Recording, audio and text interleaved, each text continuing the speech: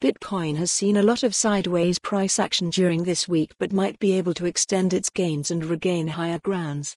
The cryptocurrency continues to trade in the green and seems to be showing signs of further short term appreciation. Related reading XRP in bearish mode as Ripple unlatches 1 billion tokens from two wallets. At the time of writing, Bitcoin trades at $23,200 with 9% profits over the past week and 1% profits in the last 24 hours. Over the last week, Bitcoin has provided more clarity about its price direction. According to a report from Arcane Research, the cryptocurrency has managed to slowly break above the critical resistance levels at $20,000, $20,700, and $23,000. This coincides with the conventional definition of an uptrend, as defined by Investopedia. An uptrend describes the price movement of a financial asset when the overall direction is upward. In an uptrend, each successive peak and trough is higher than the ones found earlier in the trend.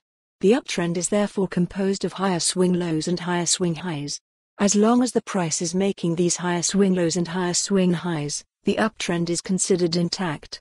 Arcane Research noted the following on BTC's recent bullish momentum and its capacity to break previous resistance, turning them into critical support. The Bitcoin price is currently at an interesting level.